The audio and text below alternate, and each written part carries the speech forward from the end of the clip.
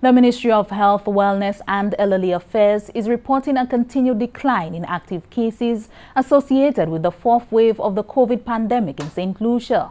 Active cases at October 28, 2021 had dropped to 350 cases.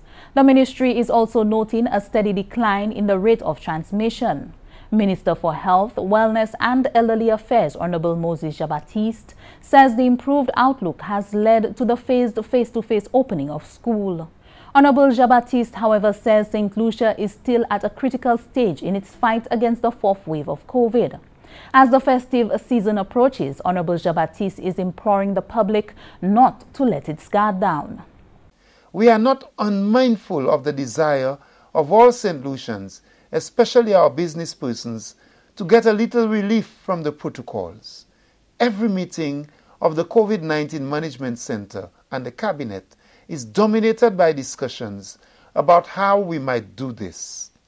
And every discussion ends with the painful conclusion that premature relief would lead to long term damage to our society and our economy.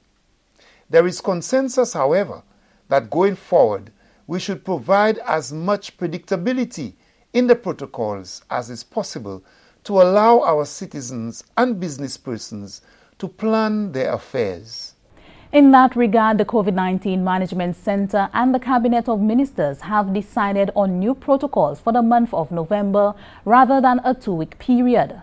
The protocols will commence on Monday, November 1, 2021 and end on Tuesday, November 30, 2021. The hours of confinement have been adjusted from 7 p.m. to 4 a.m. weekdays to 10 p.m. ending at 4 a.m. Mondays to Fridays. Confinement on weekends will be as follows.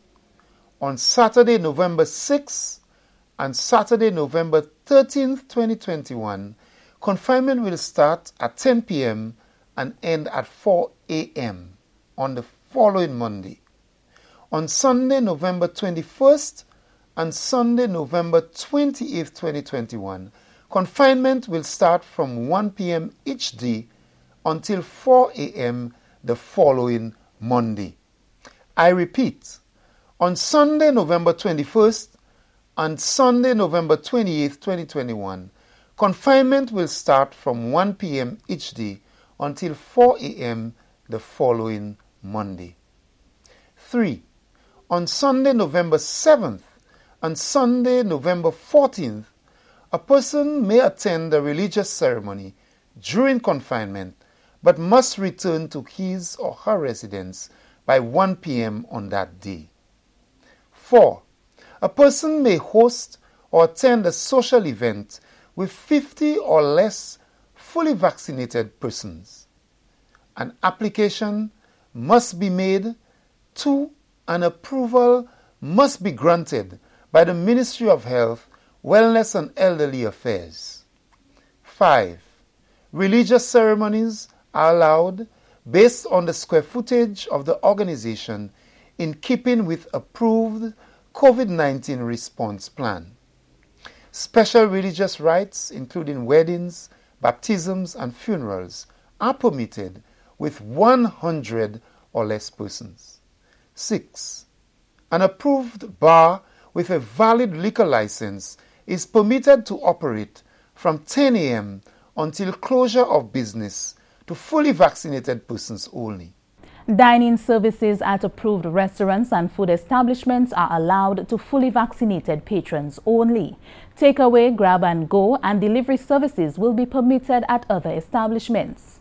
All educational institutions may open for face-to-face -face engagement to facilitate structured supervision from November 8, 2021.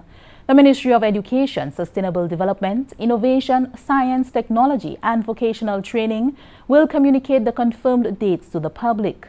Minister Jean-Baptiste says officials will continue to monitor the trends during this period and the protocols will be reviewed in relation to the festive season in December. The